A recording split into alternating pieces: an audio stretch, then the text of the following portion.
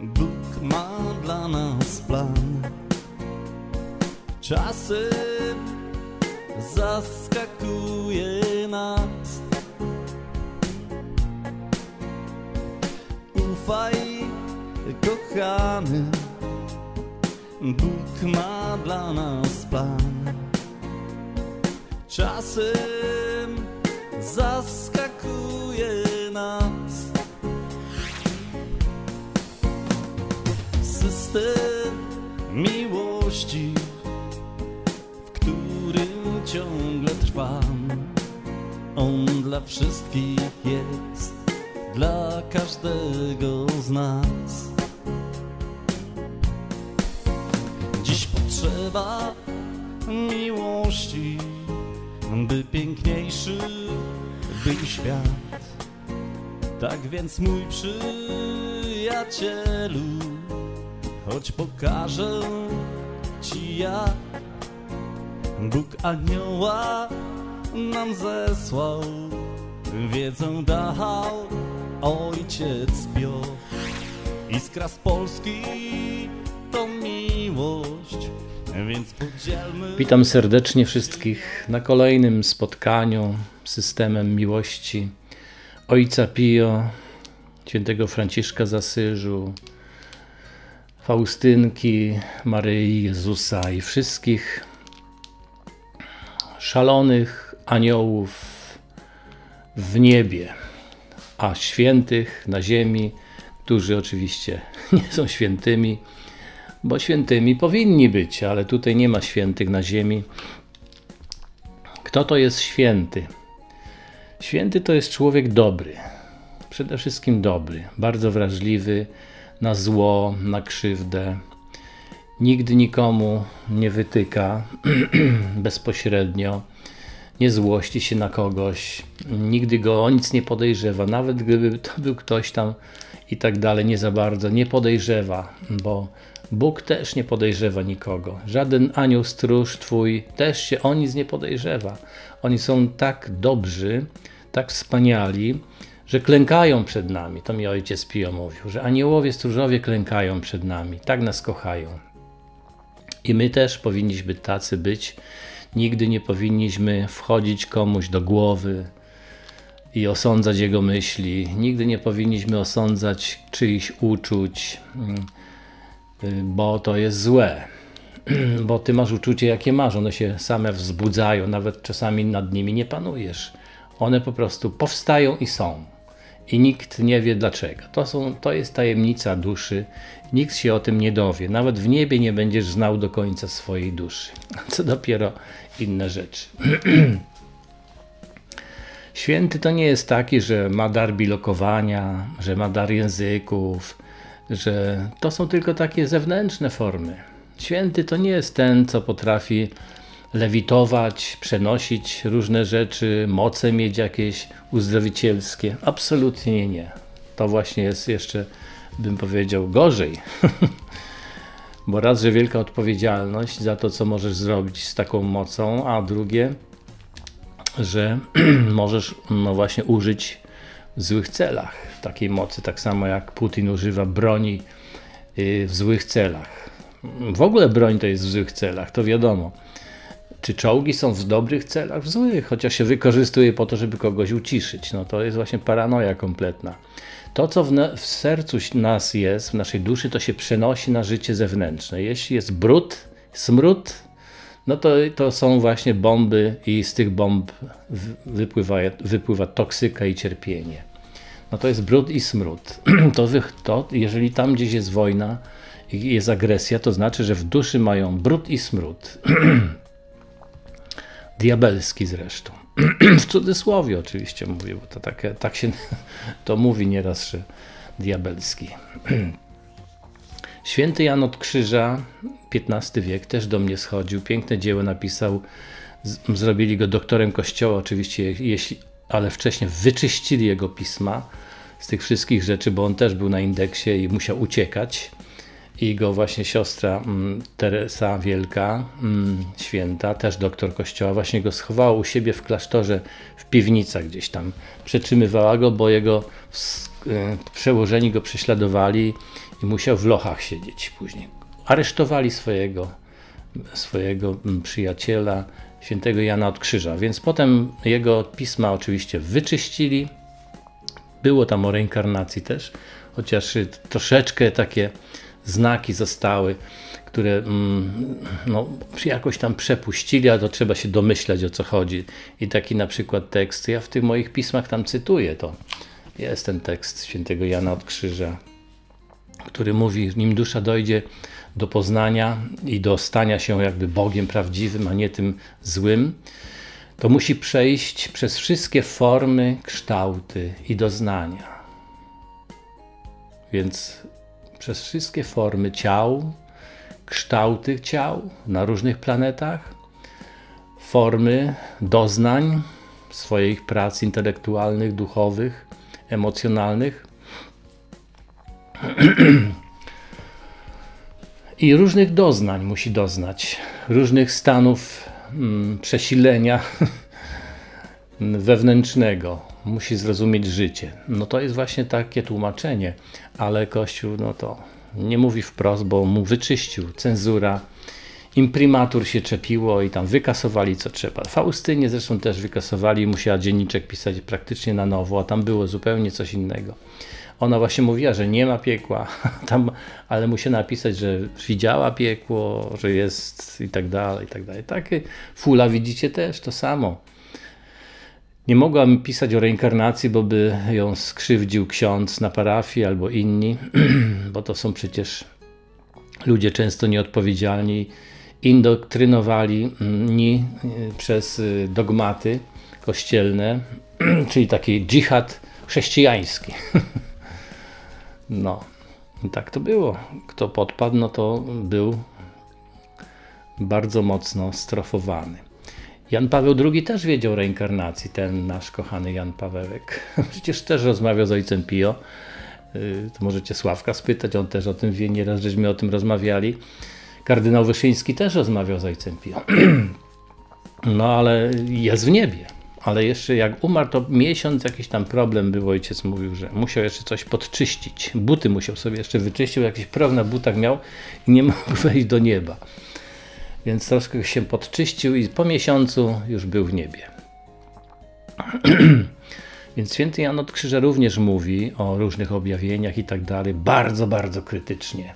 Czytajcie czasami jego dzieła, no ale trudne są, bo są długie zdania. Mnie właśnie mówił, że, że też napisze takie jak on dzieła, tylko już nowym językiem i trochę nowsze rzeczy będzie. No ja już mogę przekraczać dogmaty, bo nikt mnie tutaj nie ścignie z kościoła. No. Natomiast jak byłem w kościele, to nie mogłem.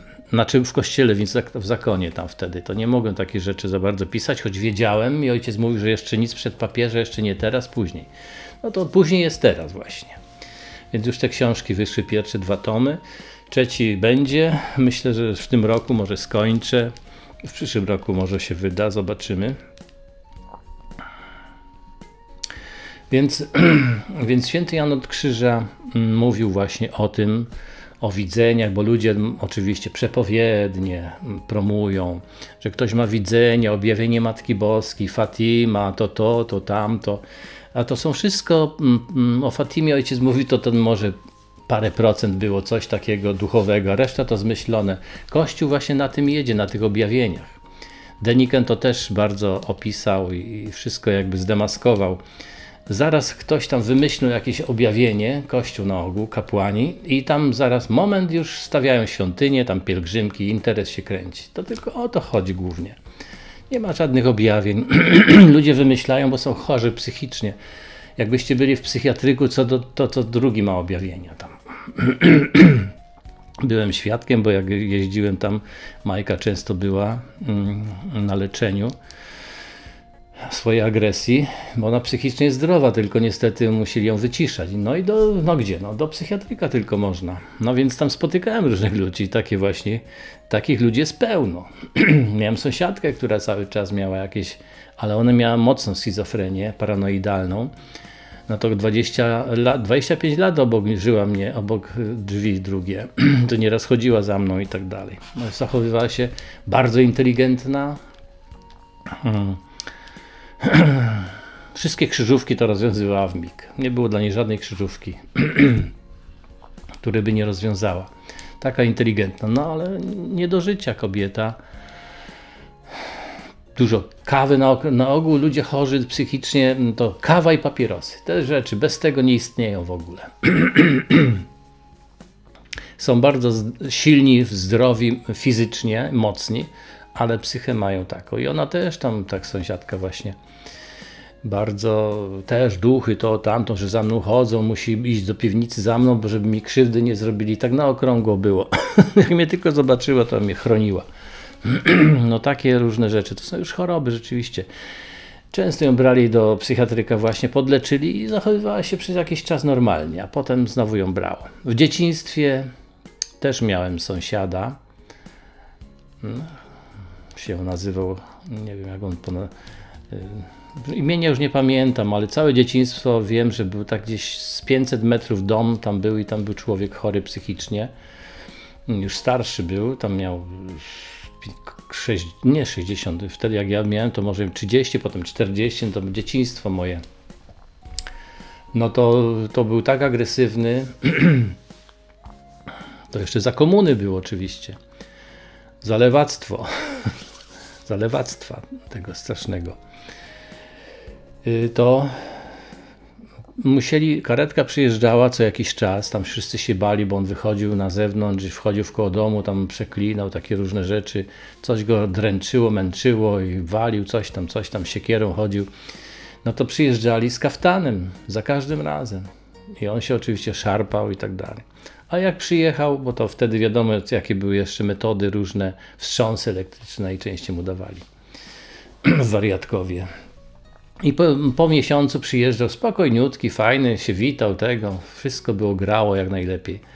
Ale za jakiś czas znowu leki przestały działać, mm, albo zapomniał brać i to samo. I tak było przez całe mm, jego życie. Ciężki miał żywot ten człowiek, no i, i rodzina. On był, nie był żonaty, miał siostrę i braty, trójka, trójka rodzeństwa żyła w tym domu. Nie, nie byli nigdy żonaci ani jedni, ale wszyscy byli wspaniali. Naprawdę fajni ludzie. Ale nie powychodzili za mąż, nie pożenili się. No, ale takie choroby są i dlatego święty Jan od Krzyża mówi i o objawieniach różnych, to najczęściej są choroby dużo rzeczy są, jest powymyślanych. I Jan od Krzyża sugeruje, żeby nawet jakbyś widział aniołów najpiękniejszych i niebo, wszystko to odrzuć. Wszystko, jeśli coś ci się pojawia przed tobą, w twoim umyśle, na zewnątrz nawet widzisz, bo są takie czasami przewidy różne się dzieją, ze względu na brak witamin i, i mikroelementów w organizmie, to się może pojawić. Twoja wyobraźnia cię przebija i ci się jakiś taki hologram tworzy. Tobie się wydaje, że to jest twoje objawienie. W, nie, w snach to jest to samo. Tylko, że tam nie ze względu na choroby, tylko też wyobraźnia pracuje i w snach różne rzeczy się widzi. Czasami się śni. Mi się to ostatnio też jakieś takie głupoty śniły. No a ojciec mówi, że w snów to tylko dobre rzeczy wybierze, resztę odrzucić. Więc odrzucamy wszystko i to wszystko, y, jeśli wam się coś dzieje, komuś się dzieje coś takiego, że widzi, że słyszy, że to, to nie wierzcie w to absolutnie. Y, bo to są tylko choroby psychiczne. Święty Jan mówi, żeby, żeby dojść tylko Bóg, nikt więcej. Odrzucać wszystkie takie objawienia, co się pojawia i tak dalej. I właśnie on tam sugerował, że nawet jak widzisz aniołów, przychodzą do ciebie piękni aniołowie, odrzuć tak, jakby ich w ogóle nie było. Bo, mm, jak mówił, dodał później tam, że nawet mm, ciemne moce potrafią się przekształcić w takich aniołów światłości. To święty Ignacy Loyola, mój założyciel zakonu jezuita, który też jest w niebie i z nim rozmawiałem, przychodził, chociaż mu tam niektórzy ezoterycy i, i wariaci dużo zarzucają, że to zły zakon i tak dalej. Zły to wy jesteście, nie zakon. Zakon był wspaniały. Ja byłem 8 lat, jeszcze raz bym poszedł, gdybym chciał. Wspaniale się tam czułem, dobrze, nic nie było wielkiego, nic nie, nic nie zagrażało, wszystko było wspaniale. Były medytacje, były tam msze i te inne sprawy. Żadnych złych rzeczy nie było, więc radziłbym, żebyście sobie wstąpili młodzi, czy tam inni ezoterycy, do nowicjatu na dwa lata, do jezuitów. To jest gorzej niż w wojsku, trudniej, taka jest dyscyplina, medytacja, msza, robota i tak dalej, różne rzeczy, refleksje, modlitwy różańce i w koło, także bardzo, bardzo a już rekolekcje ignacjańskie są wspaniałe. Miesiąc czasu, milczenia, wykłady, medytacje. Więc skorzystajcie, jeśli, jeśli Was jeszcze to by mogło nawrócić. Więc święty Jan mówi nie, wszystko odrzucać. Nawet gdyby ci się Maryja pojawiła, objawiła, odrzucaj to. I to doktor Kościoła mówi przecież. Jan od Krzyży był niesamowity. Tak samo o pielgrzymkach bardzo był krytyczny na pielgrzymki, bo to, to tylko taka dla rozrywki. No, dla rozrywki można iść na pielgrzymkę do Częstochowy czy coś tam, ale no nie jest to takie dobre, bo buty zetrzesz, zedrzesz, nogi pokaleczysz, a nie, nie zawsze są dobre intencje. Młodzież tam idzie dla rozrywki najczęściej, ich tam niewiele interesuje. Są osoby, które już starsze, to tam próbują, ale po co tak chodzić? To, to jest ciężko. ja nigdy nie byłem na pielgrzymce takiej do Częstochowy. Byłem owszem samochodem w Częstochowie już ze dwa lata temu, trzy może nawet też. Kiedyś w młodości też byłem. Znam Częstochowy. Ojciec Pio mówił o Częstochowie, to wam też mogę dodać. Kiedyś już wspominałem o tym. Y, to mi powiedział, że mm, Jasna Góra to będzie wielkie święto dla Polski. No to bo tam jest jednak mimo wszystko y, dużo ludzi przyjeżdża i modlą się i to wszystko, mimo że tych dewocjonali, tego wszystkiego pełno, wiadomo o co chodzi, ale jednak jest ten duch i mm, ta polskość tam jest zachowana. Dlatego lewactwo się boi Częstochowy jak ognia. No, sami tam będą jeździć komuniści nie byli tacy zły, źli w Polsce akurat, bo ja wiem jeszcze z tych czasów, gdy tam byłem, to przecież księża opowiadali, że komuniści, bojąc się chrzcić dzieci tutaj gdzieś blisko, żeby nie widzieli ich przełożeni, to jechali gdzieś tam na wieś, gdzieś w górę albo gdzieś i tam chrzcili swoje dzieci. I potem wracali do, do komuny z powrotem. Ale chcieli, chcieli bo takie, oni to traktowali trochę jako zabobon, to, to chrzest. Bo chrzest, jak już mówiłem, ojciec pionierz nam mówił, że to powinien każdy sam, dorosły człowiek, decydować o tym, czy chce być ochrzczony, czy chce być w, takiej, w takim ruchu, w takiej organizacji kościelnej, czy nie. Od niego zależy. No widzicie, ale Kościół na, na siłę wszystkich chrzcił, żeby mieć jak najwięcej klientów. Wiecie o co chodzi też. Dobrze, to tyle z tych rzeczy. Przeczytam Wam jeszcze na koniec Maćka wiersz. Szukanie języka. Maciek, który też jeździł na rozmowy z ojcem Pio. Tak samo. Szukanie języka. Aniołowie przelatują pomiędzy przęsłami mostów metafizycznych. Wierzą w prawo konkurencji, w prawo wołania ślepego przed głuchym, w swych falebnie zamieszkiwanych gołębnikach nie mają dokąd uciec. Królewskie pochodzenie, lecz gdyby dziś żyli w pałacu o tysiącu komnat, kryliby się, kryliby się przed sobą tak, żeby nikt nie usłyszał wołania ciszy. Cisza budzi krzyk, krzyk, wołanie za spokojem ojca. Tutaj dopadła ich samotna pokuta w patrzeniu na lustro swej twarzy. Krzyk bez ojca jest przekleństwem, jest chorobą wielu leczących nerwicę aniołów. Twój ojciec schodzi do Twojej izdebki, jak psychiatra z innego świata. Tuli Ciebie, Twą czułość jak łania tuli dziecię. Ty zaś nie lgnij do psa, który jest na łańcuchu. Szczeka, kiedy załączasz ciszę. Szczeka, bo już zazdrości Twojemu tak miłości. Choćbyś wymordował połowę ludzkości, nie cofniesz się. Prędzej aniołowie urwą ci nitkę króciutkiego wcielenia. Wyg wygnają na samotne pustynie w kosmosie, by cisza, oczekiwanie leczyły cię zamiast psychiatry. Aż zmiękniesz, aż powiesz, kropla wody rozszczelniła skałę, kropla anioła wciąż z Tobą i przy Tobie.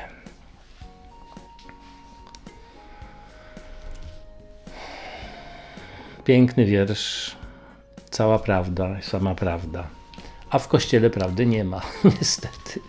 Tak sobie ludzie, chrześcijanie bzdurali, bo kapłani takich fałszerstw nauczyli i teraz tym żyją wszyscy. No. Ale każda wiara, jak ojciec mówi, nawet ta najmniejsza, jest ważna. Ważna, bo potrzebna nam jest wiara, bo bez wiary stajemy się oschli, konkretni, takimi y, zabójcami nawet się robimy. bez wiary. Jak mamy wiarę w miłość, wiarę w Boga, wiarę w niebo, to jest pięknie. No ale jeśli religie wykorzystują wiarę, może nawet nie wykorzystują, tylko w ogóle jej nie znają i nie, nie stosują się do tych reguł, jak islamiści czy, czy mm, protesta- e, prawosławni teraz w, w Moskwie, w Rosji, gdzie idą na wojnę z chęcią i z błogosławieństwem Putina i, i patriarchy, no to nie ma religii tak naprawdę, to jest fałsz. to są fałszywi prorocy, jakby tak można powiedzieć. W ogóle proroków żadnych nie ma. Zapomnijcie o tym. To są powymyślane rzeczy tylko i wyłącznie. Czy ojciec Pio był prorokiem? Przecież był jeden z najświętszych ludzi na tej ziemi. Żadnym prorokiem nie był. o tych trzech dniach ciemności pamiętam też ojca pytałem o to, a w internecie, wszędzie, książki, jakieś ludzie mówią, wymyślają, że ojciec Pio powiedział o trzech dniach ciemności. Wcale powiedział mi, że czegoś takiego nikomu nie powiedział. To dodają ludzie sobie, bo mają już choroby psychiczne od jedzenia, od powietrza, od wody i wymyślają, pocieszają się, stwarzają takie iluzje, pocieszają, że tą iluzją jakąś wiarę wzbudzą w ludziach, a to jeszcze gorzej, tylko straszą. po co ci trzy dni ciemności? Przyjdzie taki Putinowi, ci strzeli w czoło i co? Gdzie ta ciemność? Ludzie giną tysiącami dziennie. Teraz też jakieś znowu zamachy były, jakieś zginął ktoś, y, dwóch Polaków zginęło, zeszła, poszli sobie rozrywkowo w góry i lawina zeszła i koniec. Po trzech, po trzech dniach ciemności nie doczekali się. I tak właśnie z wszystkim jest. To są oszuści, kłamcy, ludzie chorzy, nie ma proroków, nie ma jasnowidzów, nie ma żadnych objawień. To wszystko są bzdury kompletne. od czasu do czasu, tylko tak jak pani Krysia była w Krakowie, przychodzi mm, Bóg pozwala, aby był bezpośredni kontakt właśnie przez takie medium. I tyle. Reszta, jak ktoś ma objawienie, to niech idzie do lekarza i niech mu tam da coś na uspokojenie. Albo niech sobie melisę pije wieczorem. No, taka jest prawda, to wam mówię.